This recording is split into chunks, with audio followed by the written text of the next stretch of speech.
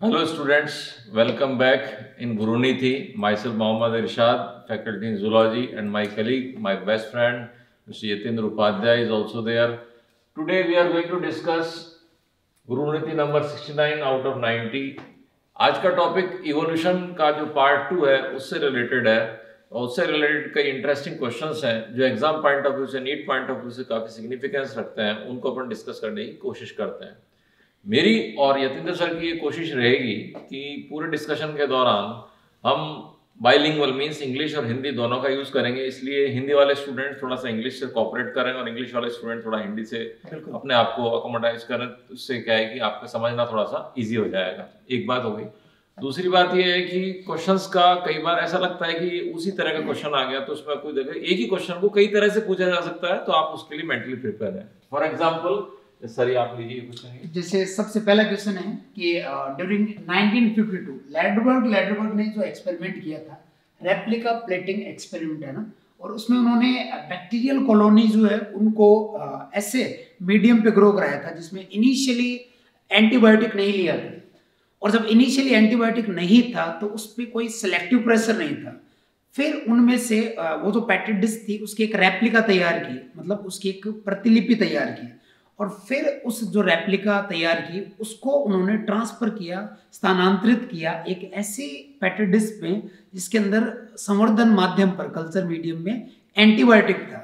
तो उस एंटीबायोटिक की वजह से कुछ बैक्टीरिया ज़िंदा रह पाए और कुछ बैक्टीरिया मारे गए। तो उसका लास्ट में कंक्लूजन क्या निकला? कि क्या नए परिवर्तित जो पर्यावरण था न्यू एनवायरनमेंट था, क्या उस न्यू एनवायरनमेंट की वजह से कुछ बैक्टीरिया में म्यूटेशन क्रिएट हुआ? या वो म्यूटेशन जो था, वो पहले से था प्री अडेप्टिव था।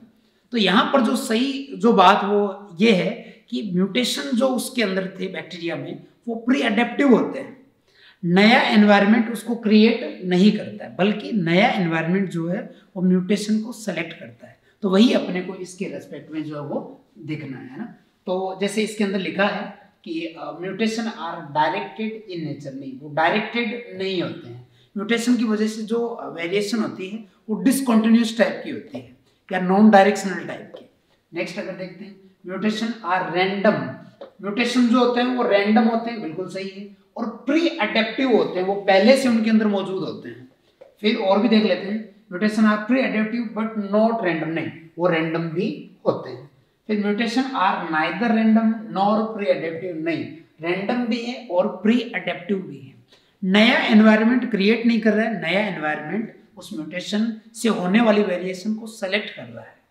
चीज़ समझ आई? तो यही इस क्वेश्चन का क्या था? कॉन्सेप्ट था। पढ़े आगे। Which of the following can be considered as a living fossil? सबसे पहले तो देखें लिविंग फॉसिल किसे कहते हैं? ऐसा ऑर्गेनिज्म जिसके अंदर इवोल्यूशन जब से उसका हुआ है, जब से लेके आज तक टिल डेट उसमें कोई मेजर इवोल्यूशनरी चेंज नहीं आया है। बाई एंड लार्ज उसका जो एनाटॉमिकल स्ट्रक्चर है, उसकी जो मॉर्फोलॉजी है, वो वो की वो बनी हुई है जब से वो इवॉल्व हुआ है। दैट एनिमल और that organism is known as living fossil तो ये लिविंग फॉसिल की डेफिनेशन है। अब अब इसमें आपको लर्न करना है कि लिविंग फॉसिल कौन कौन से एनिमल्स हैं। जैसे पेरीपेटस है, ये कनेक्टिंग ज़्यादातर इसमें लर्न करने का पॉइंट ये कि जितने भी कनेक्टिंग लिंक्स है, ज़्यादातर वो लिविंग फॉसिल की कैटेगरी में आ जाता है। जैसे पेरीपेटस है, ये भी लिविंग फॉसिल में आ जाता है। लिमुलस है, ये भी लिविंग फॉसिल में है। स्फिनोडॉन है तुआतरा जिसको अपन कहते हैं। ये सारे ये लिविंग फॉसिल्स हैं। तो यहाँ पे आंसर जाएगा ऑल ऑफ़ दी जी, बिल्कुल। अगला क्वेश्चन जो है which of the following avian character was absent in Archaeopteryx Archaeopteryx जो है, वो एक कह सकते हैं कनेक्टिंग लिंक है रेप्टाइल और बर्ड्स के बीच में। और इसमें पूछा कि कौन सा एवियन करेक्टर पक्षियों का ऐसा कौन सा लक्षण है जो आर्क्योप्टेरिक्स में नहीं था? तो यहाँ पर हम लोग देखें अब्सेंस ऑफ़ टीथ ये पक्षियों का करेक्टर है। लेकिन ये करेक्टर जो वो आर्क्योप्टेरिक्स में एबसेंट था। क्यों? क्योंकि आर्क्योप्टेरिक्स में टीथ की प्रेजेंस थी। बाकी ये दोनों जो फीचर है वो आर्क्योप्टेरिक्स की। इसलिए अपना जो आंसर इसका है वो फ़र्स्ट हो जाएगा। ठीक है? चले आगे। Consider about the following points about the analogous organ निम्नलिखित बिंदुओं पर विचार करें और उससे पता लगाएँ कि समवृत्ति अंगों से संबंधित कौन कौन सी बातें हैं, वो ठीक हैं। तो ये जो ठीक बातें हैं, उनको अपने को देखना है, किसके संदर्भ में? एनालॉगस ऑर्गन से रिलेटेड तो एनालॉगस ऑर्गन जो होते हैं, उनसे रिलेटेड पहला पॉइंट लिख रहा है these develop due to convergent evolution ये क्या शो कर रहे हैं? अभिसारी उद्विकास तो ये पॉइंट सही है। कन्वर्ज होंगे, तभी एक से ऑर्गन्स डेवलप होंगे। एक से हैबिटेट में दो अलग अलग एंसेस्ट्री से आके एनिमल रहेंगे। मान लीजिए एक है ए हैबिटेट एक है बी हैबिटेट यहाँ से एक ऑर्गेनिज्म निकला, यहाँ से दूसरा निकला, दोनों एक ही हैबिटेट में आ गए तो वहाँ पे एक से फीचर आ जाएँगे। तो ये पॉइंट सही है। दूसरा पॉइंट है कि these develop due to divergent evolution तो ये तो नहीं होगा, दोनों में से एक ही हो सकता है। थर्ड पॉइंट लिख रखा है these develop in animals having different ancestry ancestry बिल्कुल अलग अलग है यहाँ पे तो ये पॉइंट बिल्कुल सही है। चौथा point these develop due to perform different function ये अलग फ़ंक्शन नहीं एक सा फ़ंक्शन होता है इसलिए एक से ऑर्गन डेवलप हो जाता है। तो ये पॉइंट भी गलत हो चला जाता है। तो इसमें जो करेक्ट पॉइंट है वो है ए एंड दिस सी तो A and C this is first हो गया। करेक्ट आंसर यही करेक्ट पूछा ठीक है? जी। Done diversity of living organism is due to आज अगर हम लोग कहें कि हमारे सामने ये जो इतनी बायोडाइवर्सिटी है, वो किसका परिणाम है, किसका रिज़ल्ट है? तो ये लाखों साल के ऑर्गेनिक इवोल्यूशन का रिज़ल्ट है।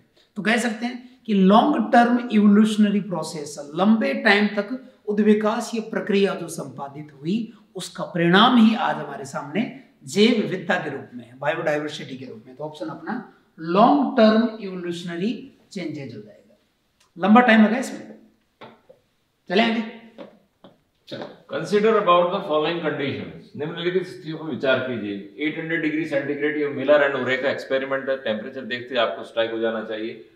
Combination of hydrogen ammonia and methane condenser था रिड्यूसिंग एनवायरनमेंट था ऑक्सीजन फ्री कंडीशंस थी सिंपल अमीनो एसिड ये सिंपल अमीनो एसिड यूज़ नहीं किए थे उन्होंने। ये तो प्रोडक्ट थे ना। ये तो प्रोडक्ट थे सिंपल शुगर उसके प्रोडक्ट थे। तो इसमें पूछा गया है कि which of these conditions were used in experiment conducted by S.L. Miller?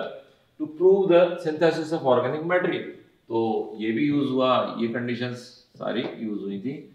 ये लेकिन इनका यूज़ नहीं हुआ था। तो A B C and D तो आंसर हो जाएगा इसमें थर्ड ये कंडीशन यूज़ हुई थी इनका ये तो प्रोडक्ट्स थे। ठीक? नेक्स्ट और इस एक्सपेरिमेंट से उन्होंने कीमोजेनेसिस को प्रूव किया। Okay which of the following is not requirement for chemical evolution as suggested by opinion? Okay. तो एनर्जी का जो सोर्स था उसकी रिक्वायरमेंट थी और वहाँ पर इलेक्ट्रोड को यूज़ किया गया था एज एनर्जी सोर्स और 75,000 वोल्टेज उसकी वजह से क्रिएट हुआ था. हाइड्रोजन अमोनिया मीथेन जो थी वो भी सब्सटेंस के रूप में लिया गया था. टू वन टू के रेशियो के अंदर. रिड्यूसिंग एटमॉस्फेयर भी था, क्योंकि अभी अभी जो पहले वाला क्वेश्चन था, उसमें ऑक्सीजन की प्रेजेंस नहीं थी। नॉर्मल एटमॉस्फेरिक टेम्परेचर नहीं लिया गया था यहाँ पर। टेम्परेचर जो क्रिएट किया गया था, दूसरे चैम्बर में 800 डिग्री सेंटीग्रेड था। इसमें वाटर को वेपर फॉर्म में कन्वर्ट किया गया था, और वो कोई यूनिसेलुलर ऑर्गेनिज्म के रेस्पेक्ट में नहीं था। वो इनिशियल जो कीमोजेनेसिस था, उसको प्रूव करने के लिए था कि इनऑर्गेनिक से ऑर्गेनिक सब्सटेंस बनते हैं इन सब कंडीशन को प्रोवाइड करने के लिए। इसमें वही अपने को जो पूछा था नॉट पूछ रहा है ना तो नॉट के रेस्पेक्ट में अपना ऑप्शन हो जाएगा फोर ठीक है? चले आगे. Which of the following is not indicated by paleontological studies paleontological studies से क्या पता नहीं लगता। जी. है ना? तो some fossils represent extinct organisms दूसरा है different forms of life have evolve during different time periods ये पता लग सकता है। Different forms of life were almost similar during different time periods. अलग अलग time period में life form कभी एक से नहीं रहे। ये कहना बड़ा मुश्किल है। चेंज हो जाते हैं। चेंज हो जाते हैं। certain life forms were restricted to certain geological time span ये तो ठीक है। तो इसके अंदर ये हो जाएगा। मतलब ये आपका जो इनकरेक्ट पूछ रहे हैं। इनकरेक्ट है। Different form of life form but almost similar similar नहीं थी अलग अलग अलग अलग थे वो। और जो लोअर जैसे स्टेटा की भी हम लोग बात कर लें जो पृथ्वी की लोअर जो चट्टाने थी, वहाँ पर फॉसिल कम होते हैं सिंपल होते हैं। और जैसे जैसे ऊपर की तरफ़ बढ़ते हैं, वो कॉम्प्लेक्स होते जाते हैं और उनकी संख्या बढ़ती जाती है। तो वो चीज़ वेरी करती है। Which of the following is comparatively less proper method for determination of fossil यानी फॉसिल की आयु के निर्धारण के लिए सबसे कम मतलब सबसे अ, ऐसा ऑप्शन देखना है कि वो सबसे कम अप्रोप्रिएट हो। यानी इंपॉर्टेंट जो मेथड्स हैं वो आपका रिलेटिव डेटिंग को अगर छोड़ दें तो रेडियो डेटिंग मेथड है परफेक्ट पता लग जाएगा।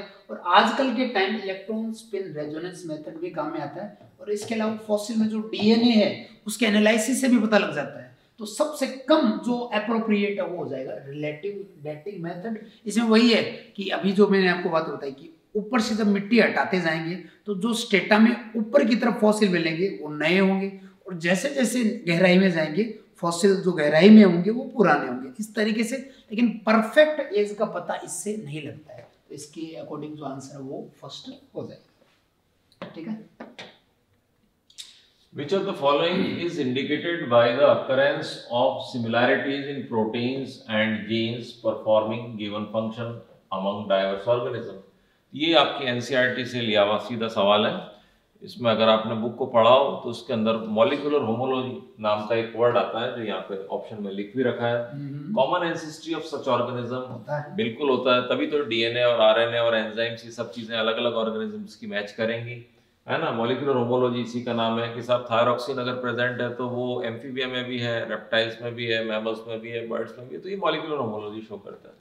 डाइवर्जेंट इवोल्यूशन भी शो करता है कि अलग अलग ऑर्गेनिज्म जो है ना टाइम के साथ साथ अलग अलग हैबिटेट में चले गए और अलग अलग तरह के स्ट्रक्चर्स में वो इवॉल्व हुए हैं। ये सारी बातें बाई एंड लार्ज ठीक सा लगती हैं। तो आंसर हो जाएगा इसमें। फोर फोर भाई कॉमन एंसेस्टर से बना तो सारी चीज़ें एक सी होगी। एक से। Next which of the following is not considered है ना? As atavistic character in human मतलब ऐसा फीचर जो एंसेस्टर में था, लेकिन अब नहीं है, लेकिन किसी बच्चे के अंदर वो एंसेस्टर वाला करेक्टर रीअपियर हो गया। पूर्वजों के जीन की अभिव्यक्ति के कारण, क्योंकि क्योंकि वो जीन रहते हैं, अभिव्यक्ति नहीं शो करते हैं। लेकिन कई बार उन जीन का एक्सप्रेशन हो जाता है, जिससे पूर्वजों का लक्षण वापस प्रकट होने लगता है। तो इसमें नोट पूछ रहा है फंक्शनल ऑरिकुलर मसल्स है, क्योंकि ये वेस्टिजियल है, कई बार इनमें मूवमेंट होने लगता है तो वो एटोविस्टिक हो जाएगा। सेगमेंटल एब्डोनिमल मसल ये वाला जो है वेस्टिजियल जो फीचर में अपन मान सकते हैं, लेकिन इसको एटोविस्टिक के अंदर हम लोग नहीं रखेंगे। Small tail in some newborn ये वाला हो जाएगा। और कई बार कुछ बेबी जो है, उनकी बॉडी के ऊपर काफ़ी सारे हेयर होते हैं। उसके रेस्पेक्ट में ये बात की गई है कि हेयर की ग्रोथ अगर बहुत ज़्यादा हो जाए, क्योंकि बॉडी हेयर भी हमारा वेस्टिजियल फीचर है। और कई बार पूरी बॉडी के ऊपर हेयर की ग्रोथ हो जाए तो वो एंसेस्टर के करेक्टर का दोबारा प्रकट होना होता है। तो यहाँ पे नोट पूछा है। तो नोट के रेस्पेक्ट में हमारा सेकंड हो जाएगा। चले हमें। Potato and sweet potato have edible parts which are एक तो है आलू एक है शकरकंद दोनों के जो एडिबल पार्ट्स हैं एक में रूट है एक में स्टेम है। लेकिन सिमिलैरिटी क्या है? दोनों स्ट्रक्चर्स एडिबल पार्ट में कन्वर्ट हो गए। स्टोरेज ऑफ़ फ़ूड है उसका। क्या है? स्टोरेज ऑफ़ फ़ूड है। तो ये अलग अलग स्ट्रक्चर है तो कैसे हो जाएँगे? एनालॉगस बिल्कुल। एक रूट का एक शूट का। एक बेसिक आइडिया ऑफ़ इवोल्यूशन जो उसके रेस्पेक्ट में पूछ रहा है। तो इवोल्यूशन का जो बेसिक आइडिया वो ये है कि किसी को एंसेस्टर से इवोल्व होकर के मॉडिफाई होकर के जीव जो है वो आगे बढ़ते हैं। तो उसी को बोलते हैं डिसेंट विद मॉडिफिकेशन बाकी special creation cosmogenic evolution spontaneous ये तो थ्योरीज है जो इनिशियली दी गई थी। तो ये बेसिक उसका जो आइडिया है वो हो गया पे कि किसी पूर्वज से मॉडिफाइड होते हुए अलग अलग जो स्पीशीज है उनका फॉर्मेशन होता जाता है। चलेंगे? The fossils are mainly preserved in. तो fossils mainly rocks के अंदर preserve रहते हैं। हालाँकि ये चीज़ एनसीईआरटी में नहीं दी हुई लेकिन काफ़ी इंपॉर्टेंट और इन्फॉर्मेटिव भी है। अपने को पता होनी चाहिए कि रॉक्स के जो मेजर टाइप्स हैं और किसमें फॉसिल सबसे ज़्यादा मिलते हैं। जी। तो इसके अंदर ये जो है इग्नियस रॉक्स ये तो बहुत हार्ड होती है बहुत पहने में होती है तो इसमें तो लेकिन ये जो है ना मेटामॉर्फिक ये तो बहुत ब्रिटल होती है इसके अंदर भी नहीं मिलते। ये तो कोई ऑप्शन ही नहीं बचा इसमें भी नहीं है। तो ये सेडिमेंट्री रॉक्स हैं these are the rocks which are most research and you know uh, used by the researchers ये वो रॉक्स हैं जिनको रिसर्चर सबसे ज़्यादा यूज़ करते हैं फॉसिल्स की स्टडी के लिए। क्योंकि इसके अंदर जो ऑर्गेनिज्म का इंप्रेशन है वो काफ़ी क्लियर कट आ जाता है और उससे अपन एज कैलकुलेट कर सकते हैं उसके स्ट्रक्चर उसकी मॉर्फोलॉजी उसकी एनाटॉमी जो भी डिपेंड करता है फॉसिल कैसा मिला है उसका पता लगा सकते हैं। तो इस तरह का फॉसिल मेनली मिलता है सेडिमेंट्री रॉक्स के अंदर। सेडिमेंट्री रॉक्स को फॉसिल्स की स्टडी के लिए सबसे कॉमनली यूज़ किया मतलब वे कोई जीव मर गया उसमें मिट्टी के कण इकट्ठे होते गए तो वो सेडिमेंटेशन वगैरह चट्टान का रूप ले नीचे बैठे। Atmosphere of earth at time of origin of life उस दौरान फ्री ऑक्सीजन नहीं थी। और एटमोसफेयर जो था वो रिड्यूसिंग था। और इनिशियली हाइड्रोजन हीलियम थी, वो हाई टेम्परेचर की वजह से ऊपर चली गई थी। और फिर जो सेकेंड एटमोसफेयर क्रिएट हुआ, वो वॉल्केनिक इरप्शन से हुआ। उसमें मिथेन थी अमोनिया थी वाटर वेपर थी सीओ थी। लेकिन फ्री ऑक्सीजन उस दौरान नहीं थी तो आंसर अपना जो है वो रेड्यूसिंग हो जाएगा।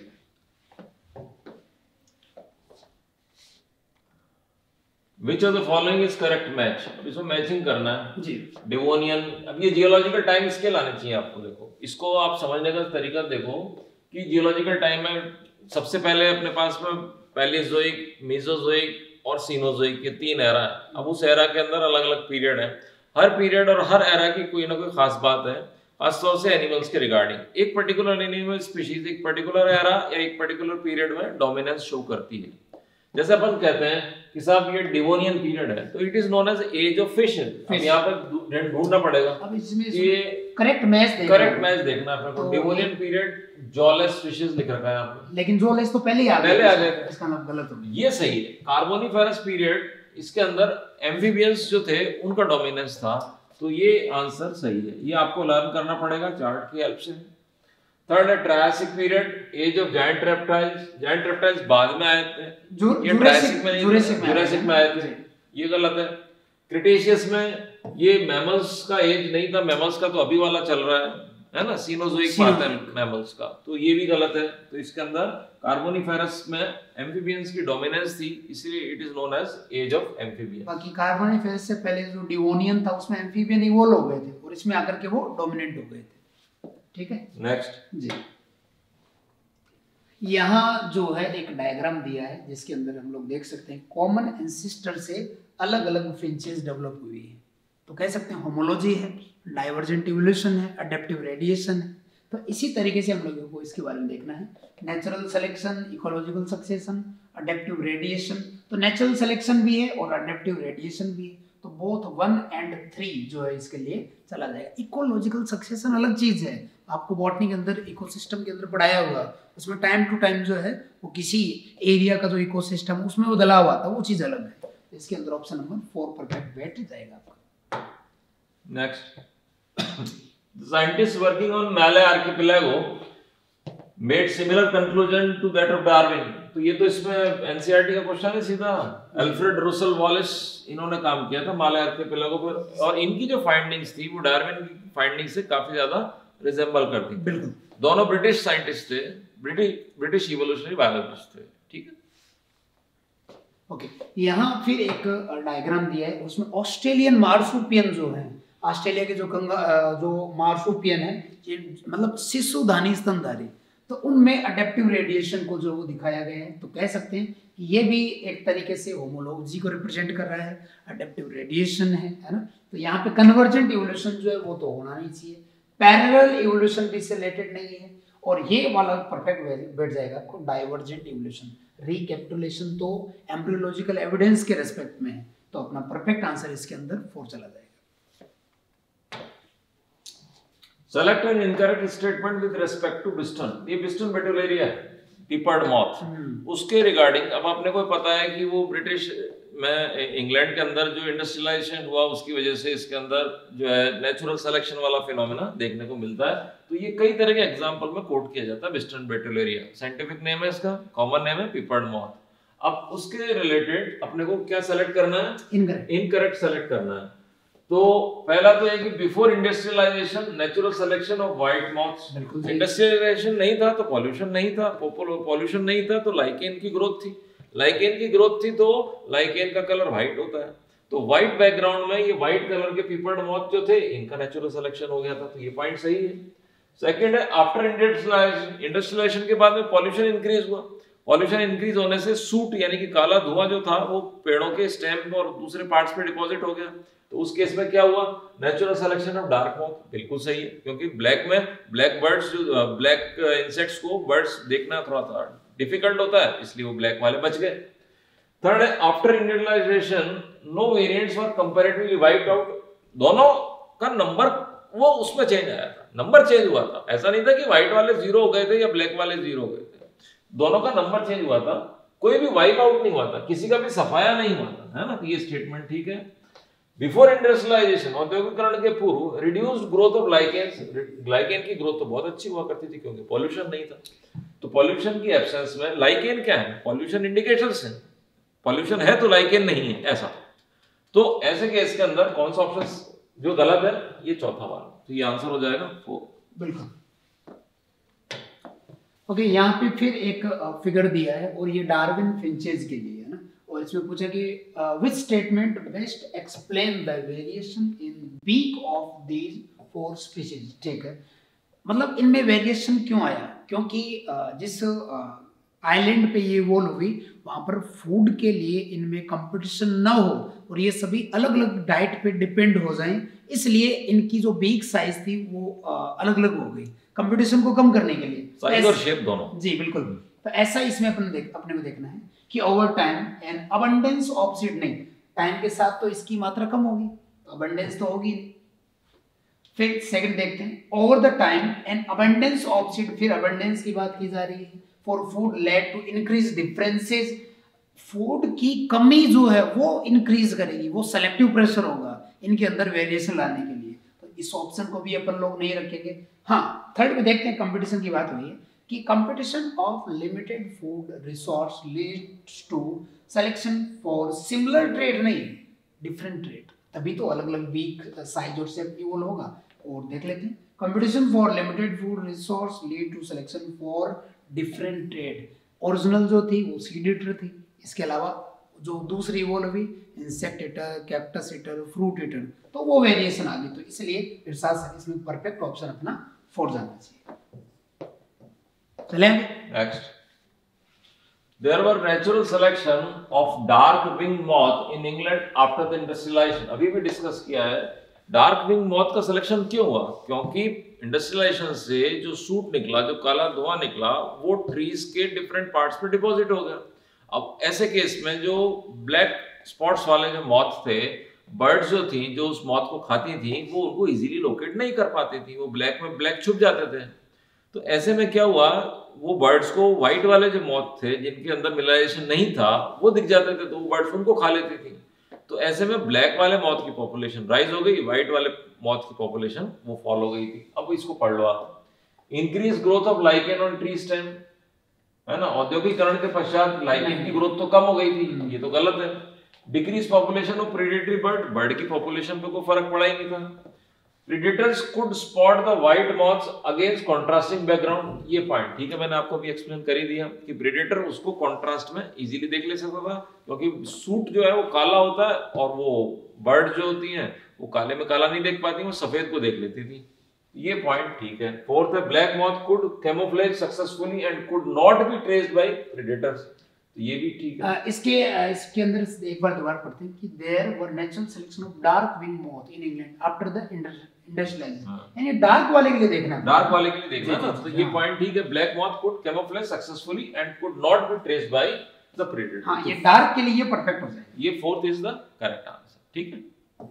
डार्क के respect next Which of the following is not an example of anthropogenic evolution? अपन ने नेचुरल सिलेक्शन के एविडेंस में लास्ट टाइम भी बात की थी कि ह्यूमन एक्टिविटी की वजह से, मनुष्य के क्रियाकलाप की वजह से जो भी चीज़ें हुई और उनसे जो इवोल्यूशन हुआ, वो एंथ्रोपोजेनिक है, जिसके अंदर ह्यूमन का इन्वॉल्वमेंट हो वो चाहे इंडस्ट्रियल मिलनिज्म हो, क्योंकि पॉल्यूशन ह्यूमन मनुष्य की वजह से हुआ वो चाहे ड्रग या एंटीबायोटिक रेजिस्टेंस माइक्रोब्स में जो हो रही हैं, कि जीवाणुओं के अंदर जो ड्रग है और जो प्रतिजैविक है, उसके लिए प्रतिरोधक क्षमता विकसित विकसित होती है। वो भी एंथ्रोपोजेनिक है। और इसके अलावा हर्बिसाइड और पेस्टिसाइड रेजिस्टेंस जो विकसित होती है हर्ब और सर्ब में पेस्ट में सॉरी वो भी एंथ्रोपोजेनिक कोज की वजह से है। तो इसमें जो है नोट पूछा है।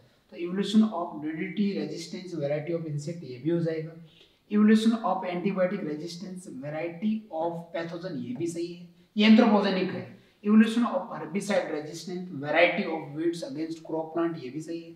Evolution of long neck giraffe नहीं। ये तो लेमार्किज्म से रिलेटेड पॉइंट था इससे रिलेटेड ये नहीं है। तो आंसर अपना फोर्थ हो जाएगा। चलिए Which of the following is not an example of adaptive radiation? But adaptive radiation में आप ये वाला मार्क ये ध्यान रखिए ठीक है? Evolution of different marsupial in Australia बिल्कुल सही है। Evolution of butterfly and hummingbird in aerial habitat नहीं। ये नहीं ये तो एनालॉगस ऑर्गन्स है। जी। एक इंसेक्ट है और एक चिड़िया है। ठीक है इवोल्यूशन ऑफ़ डार्विन फिंचेस बिल्कुल इसी कैटेगरी में आ रहा है। ठीक है फिर आ रहा है evolution of different placental mammals बिल्कुल। ये तो इसमें नॉट पूछा। नॉट नॉट तो नॉट में तो फिर एक ही है। सेकंड हो जाएगा सेकंड चले आगे। नेक्स्ट ओके यहाँ पे नेचुरल सिलेक्शन के जो पैटर्न है उसके लिए। और यहाँ अपने को पूछा है कि if this population is subjected to stabilising selection for several generation कि ये जो पॉपुलेशन है, कई पीढ़ियों तक स्टेबलाइजिंग सिलेक्शन को फॉलो करे तो इसमें होगा क्या कि जो पीक है, वो ऊपर की तरफ़ उठ जाएगी मेन करेक्टर वैल्यू जो है, उसका सिलेक्शन ज़्यादा होगा, और साइड से ये अंदर की तरफ़ जाएँगे तो नैरो हो जाएगा तो कई जनरेशन तक स्टेबलाइजिंग सिलेक्शन के बाद में जो रिज़ल्ट आएगा वो ये हो जाएगा आपका। समझ रहे हो? तो आंसर अपना फ़र्स्ट हो जाएगा। When evolution of many similar species occurs starting from a main point वही वाली बात। मैनी पॉइंट नहीं नहीं Many- starting from many many point. हम्म। ये अलग अलग पॉइंट से इस तरह से। जी। And late be coming to common area एक से हैबिटेट में आकर रहने लगे तो process is known as divergent adaptive convergence adaptive convergence. ये कन्वर्ज अलग अलग रास्ते एक जगह आके कन्वर्ज हो गए। लाइट रेस कन्वर्ज हो जाती है। तो कन्वर्ज एक इंग्लिश का वर्ड है इसको सीखें आप। तो कन्वर्जेंस का मतलब है मिल जाना। तो ये कन्वर्जेंस है। अलग अलग हैबिटेट से आके एक ही जगह पर रहने लग गए तो कन्वर्ज हो गए। तो ये कहलाती है अडेप्टिव कन्वर्जेंस अडेप्टिव रेडिएशन नहीं है। यानी इसको बोलते हैं अपसारी। और डाइवर्जेंट को बोलते हैं अभिसारी next what are considered as two key points of darwinism? Okay darwinism के दो की पॉइंट्स है काफ़ी इंपॉर्टेंट है ये वाला। हालाँकि रिप्रोडक्टिव फिटनेस उससे रिलेटेड नहीं है। उनका कॉन्सेप्ट का पार्ट था डार्वियन फिटनेस इसको बोलते हैं लेकिन की कॉन्सेप्ट में एक तो ब्रांचिंग डिसेंट और एक है नेचुरल सिलेक्शन ये तो है पैटर्न ऑफ़ इवोल्यूशन इवोल्यूशन का पैटर्न और ये बताता है इवोल्यूशन की मैकेनिज्म दोनों को आप लोग नोट डाउन कर लेना। ये इवोल्यूशन के पैटर्न के लिए और ये इवोल्यूशन की मैकेनिज्म के लिए। पैटर्न कुछ इस तरीके से। इवोल्यूशन इस तरीके से होता है। ये तो गया ब्रांचिंग डिसेंट पैटर्न और मैकेनिज्म जो है वो नेचुरल सिलेक्शन तो अपना आंसर इसमें सेकंड जाएगा। Who proposed that evolution of life form had occurred due to environmental effects but driven by use and disuse of organ. तो जैसे ही आपके सामने ये वर्ड आता है ना use and disuse of organ तो सीधा नाम आ जाता है Jean. Jean Baptiste de Lamarck French scientist Lamarck French था फिर तो फोर्थ हो जाएगा क्यों? हाँ ये देखो ये कंफ्यूजन है। मैं खुद ही कंफ्यूज हो गया। ये फ्रांसीसी तो इसलिए फोर्थ हो जाएगा फोर्थ आंसर फिर एक नेचुरल सिलेक्शन के रेस्पेक्ट में एक एग्ज़ाम्पल है और इसमें अपने को जो है वो देखना है। करेक्ट तो इसमें लिखा peak shift in one direction की जो ये पीक है वो कई जनरेशन के सिलेक्शन के बाद में एक दिशा में जा रही है और एक दिशा में जा रही है, इसका मतलब कोई एक करेक्टर जो है वो सेलेक्ट हो रहा है। तो ये तो हो जाएगा आपका डायरेक्शनल लेकिन डायरेक्शनल के लिए बर्थ वेट ये स्टेबलाइजिंग वाला है। और इसके लिए अगर हम लोग देखें इंडस्ट्रियल मिलेनिज्म तो B and third industrial melanism में एक बार में या तो डार्क थी और या वाइट थी तो पीक एक दिशा में जा रहा है। तो अपना परफेक्ट कॉम्बो इसमें जो बैठता है वो बी का थर्ड यानी थर्ड ऑप्शन हो। जाएगा ठीक है? चलो। Which of the following is the correct match निम्न में से कौन सा मिलान सही है? रिपीट ही हो गया। अभी पहले भी यही क्वेश्चन था। अच्छा अच्छा अच्छा। है ना? तो Jurassic period of Mesozoic era is characterized by Jurassic period में क्या इवेंट हुआ था भाई? Dominance of gymnosperm and appearance of first bird ये परफेक्ट हो radiation of reptiles and origin of mammal like reptile ये तो ये परमियन में हुआ था। ये वाला परमियन की बात की बात है। एक्सटिंक्शन ऑफ़ डायनासोर जुरासिक में तो डोमिनेट किया था ये क्रिटेशियस में हुआ था। ये नहीं हुआ। Flowering plants in dinosaur appears ये भी नहीं है। ये ट्रासिक में हुआ था। ट्रेस है ना? तो क्यों इरशाद सर फ़र्स्ट हो। जाएगा इसमें जो समझने वाला पॉइंट है हम्म, वो हम्म। ये है कि अपने को ये याद रखना है कि जो मीजोजोइक एरा है उस मीजोजोइक एरा के जो तीन पीरियड हैं ट्रायसिक जुरासिक और क्रिटेशियस उनके अंदर रेप्टाइल्स मैमल्स और बर्ड्स इन तीनों के अंदर चेंजेस आए थे। तो ये आपको लर्न करना है वो चार्ट की हेल्प से जो आपके मॉड्यूल में दिया हुआ है ठीक है? तो उससे आपकी बहुत इजी हो जाएगा इसको लर्न करना। इस तरह के क्वेश्चन को करना अटेम्प्ट करना। Next Uh, which of the following is a correct time for extinction of dinosaur due to ecological changes? एक बड़ा उल्का पिंड आके टकराया था और एनसीईआरटी ने इसका डेटा भी लिखा है लास्ट में जो 65 एम वाई ए है। सीधा सा है आपको याद रखना है। और इसके बाद ही मैमल्स को इवोल्व होने का मौका मिला था मैमल डोमिनेंट हुए थे। Darwinian variations are generally considered as. Darwin से संबंधित विभिन्नताओं को समझा जाता है। Minor major directional non directional continuous अब इसमें से अपने को सेलेक्ट करना है। तो ये छोटे छोटे चेंजेस थे जो एक्यूमुलेट होते चले गए। एक पर्टिकुलर डायरेक्शन में चलते गए। मीन्स एक पर्टिकुलर फीचर इवॉल्व होता चला गया टाइम के साथ साथ नॉन डायरेक्शनल नहीं थे डायरेक्शनल थे। और ये लगातार होते थे। मतलब ऐसा नहीं था कि साहब एक बार हो गए फिर कई सालों तक की जा पड़ी फिर कुछ नहीं हुआ। फिर केक हो गया वो म्यूटेशन वाला कंसेप्ट नहीं है इसके अंदर। ये कंटिन्यूस होते थे धीरे धीरे होते थे और एक पर्टिकुलर डायरेक्शन में होते थे। इस केस के अंदर ये सही है ये भी सही है और ये भी सही है। फ़र्स्ट थर्ड एंड फिफ्थ तो आंसर हो जाएगा इसके अंदर और सेकंड इसके अलावा इसमें नॉन रैंडम भी कह सकते हैं अपना ना? और वो भी ऐड किया जा सकता है। और जो ह्यूगो डिवरीज वाला था म्यूटेशन वाला वो लार्ज थी या मेजर नॉन डायरेक्शनल डिसकंटिन्यूअस और नॉन रैंडम थी सॉरी वो रैंडम थी चलें? यहाँ पे अपने को कुछ इवेंट्स हैं, उनको सीक्वेंसली ऑर्डर में अरेंज करना है। ये डार्वियन मतलब डार्विनिज्म से रिलेटेड है ये। तो काफ़ी इंपॉर्टेंट है। सबसे पहले ओवर प्रोडक्शन होगा। उसकी वजह से फ़ूड और स्पेस जो वो लिमिटेड हो जाएगा तो दूसरा ये आ जाएगा। और इससे फिर स्ट्रगल होगा तो ये तीसरा हो जाएगा। और स्ट्रगल के दौरान फिर जीवों में वेरिएशन पैदा होंगी। तो इसका मतलब है ये हो जाएगा आपका फोर और वेरिएशन के बाद में जो है उनका नेचुरल सिलेक्शन होगा, यानी फाइव और नेचुरल सिलेक्शन के बाद में जो है यूजफुल वेरिएशन मतलब वो रिप्रोडक्शन करेंगे तो वो वेरिएशन अगली जनरेशन में जाएगी मतलब इनहेरिटेंस ऑफ़ यूजफुल वेरिएशन और उसका रिज़ल्ट होगा लास्ट में स्पीशिएशन तो ये हो जाएगा नंबर सेवन तो सर इसके अकॉर्डिंग नई स्पीशीज लास्ट में जाके बनेगी इतना ध्यान रखना। नई स्पीशीज लास्ट में जाके बनेगी। पहले रिप्रोडक्शन होगा वेरिएशंस आएँगे कंपटीशन होगा वो सारी चीज़ें होंगी लास्ट में होगा ये स्पीशीज तो इसका मतलब है ऐसा ये परफेक्ट बैठ रहा है हाँ। है ना? काफ़ी इंपॉर्टेंट है याद रखना है। सीक्वेंस याद रखनी है भाई। जी। The factors which affect the Hardy-Weinberg principle are gene mutation, yes. Gene mutation से हार्डी मीनबर्ग इक्विलिब्रियम प्रभावित हो जाता है। क्योंकि अपन ये कहते हैं, जब हार्डी मीनबर्ग लॉ कहते हैं कि in large randomly mating population the gene frequencies and genotype frequencies जो होती हैं, वो जनरेशन आफ्टर जनरेशन कांस्टेंट बनी रहती हैं, अगर इवोल्यूशनरी फोर्स वर्क न करें तो। ऐसा होता नहीं है, लेकिन फिर भी ये एक जेनेटिक्स इवोल्यूशनरी जेनेटिक्स कैलकुलेशन के लिए बेस प्रोवाइड करता है, इसलिए इसको पढ़ा जाता है।